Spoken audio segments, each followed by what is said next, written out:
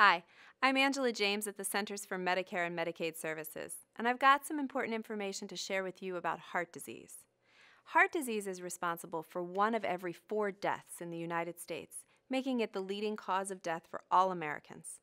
And about half of U.S. adults have at least one of the major risk factors for heart disease or stroke because they currently smoke, or have uncontrolled high LDL cholesterol, or have uncontrolled high blood pressure. Many risk factors for heart disease and stroke, like high blood pressure and high cholesterol, may not have any symptoms. And so you may not know that you have them unless you're tested. But the good news is that most risk factors for heart disease and stroke, specifically high blood pressure and high cholesterol, smoking, and obesity, are preventable and controllable.